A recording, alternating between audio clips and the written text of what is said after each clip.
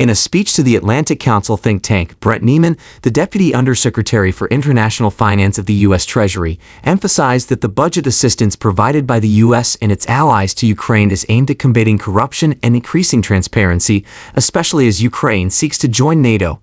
Neiman highlighted that Ukraine's economy has shown resilience during the ongoing conflict, but stressed the need for reforms to minimize the risk of corruption and conflicts of interest. He outlined several anti-corruption measures already undertaken by Ukraine, such as requiring public office holders to report their asset holdings, shielding the Special Anti-Corruption Prosecutor's Office from political influence, and enhancing corporate governance in state-owned enterprises the U.S. has reportedly provided around $175 billion to Ukraine, according to the Council on Foreign Relations, and both the European Union and NATO have demanded extensive anti-corruption efforts before Kiev can join their ranks. Neiman asserted that while defending Ukraine against Russia's attacks is a priority, the support from the international community also presents an opportunity to drive necessary reforms within Ukraine. He pointed out that budget assistance from the US, Europe, and international financial institutions is specifically designed to support these critical reforms. Ukrainian President Volodymyr Zelensky, elected in 2019 on an anti-corruption platform, has taken steps to reinforce his commitment to this cause, including the dismissal of top officials such as Ivan Bakanov, the former head of the State Security Service, in July 2022. Over the past two years, Ukraine has seen several high-profile dismissals, including its defense minister, top prosecutor, and intelligence chief, as part of these anti-corruption efforts. In a separate but related context, a Russian court has rejected an appeal by sociologist and activist Boris Kagarlitsky against his five-year prison sentence for justifying terrorism. Kagarlitsky, a longtime political dissident who has openly criticized the conflict in Ukraine, faced these charges for comments made in a video about a Ukrainian attack on the bridge linking Russia to annex Crimea. The video titled Explosive Congratulations for Mostik the Cat referred to a cat living on the Crimean Bridge, used by state media to symbolize Crimea's connection to Russia. Initially fined 600,000 rubles, Kagarlitsky's sentence was later increased to a prison term following a prosecution appeal for a harsher punishment. Meanwhile, an investigation has revealed that the Russian Orthodox Church is involved in Russifying Ukrainian children abducted by occupying forces. The report by Doxa, a Russian opposition student journal and open-source outlet Kitmapping, found that children from orphanages and boarding schools in the occupied Donetsk region were taken to Russia's Rostov region.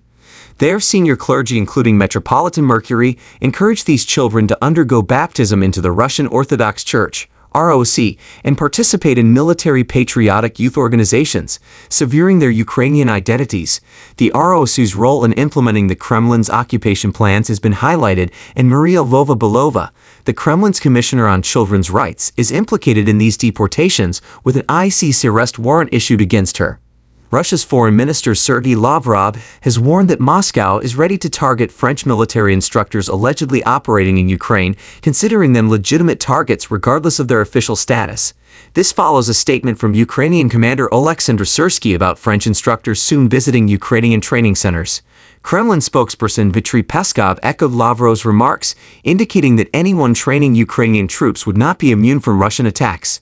But before we continue, if you're enjoying this briefing, please kindly support this channel by liking and clicking on the subscribe button below to subscribe to this channel and to help YouTube learn of your preferences and enable you receive new video updates every time they are uploaded.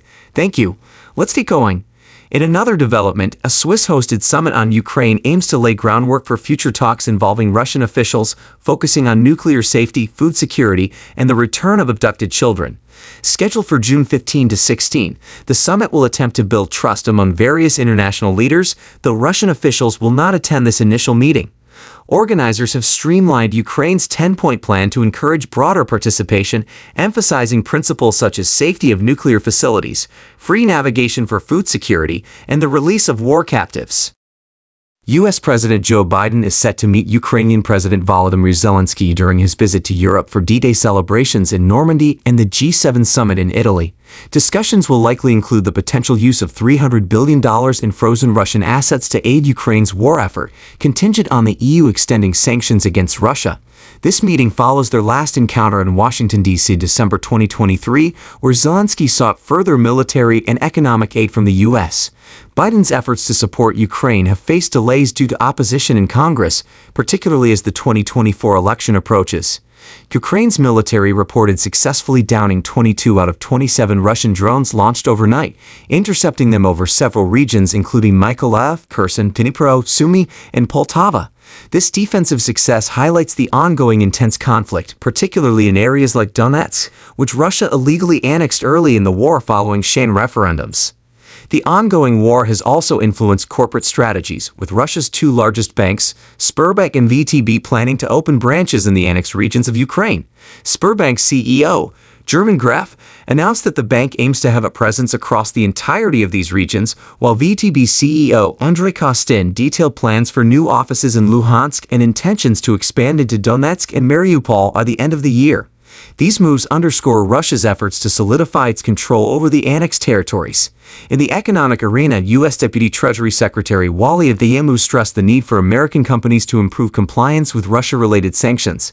He urged manufacturers, particularly those of microelectronics and machine tools, to ensure their supply chains do not contribute to Russia's evasion of sanctions. Adeyemo also highlighted the importance of vigilance among freight forwarders, distributors, and financial institutions to prevent Moscow from circumventing these economic measures. Polish farmers have resumed their blockade at the Ukrainian border, protesting agricultural imports from Ukraine, which they claim create unfair competition. The demonstrations, ongoing since last autumn, have strained relations between Warsaw and Kiev. Poland, a major agricultural producer, banned imports of several Ukrainian products in 2023, and the current protests continue to reflect the farmers' discontent with the impact of Ukrainian imports on their market.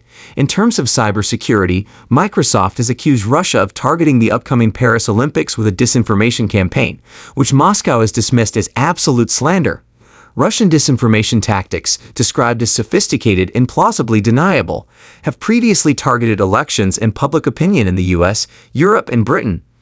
Colonel Simon Diggins, a former British defense attaché, suggested that Russia's attacks on France are partly motivated by sour grapes over being barred from the Olympics and France's support for Ukraine's use of its missiles against Russian targets. Finally, the death of Kremlin critic Alexei Navalny continues to provoke international outrage. Navalny's supporters and family marked what would have been his 48th birthday with a memorial service at his grave, amidst calls for further sanctions against Vladimir Putin's inner circle. Navalny, convicted on multiple charges and serving over 30 years in prison, died in February at an Arctic prison colony under circumstances his family claims are suspicious and likely linked to the Russian government. The Kremlin denies involvement, citing natural causes as the official reason for his death. His anti-corruption foundation, now operating in exile, continues to challenge the Russian government's actions.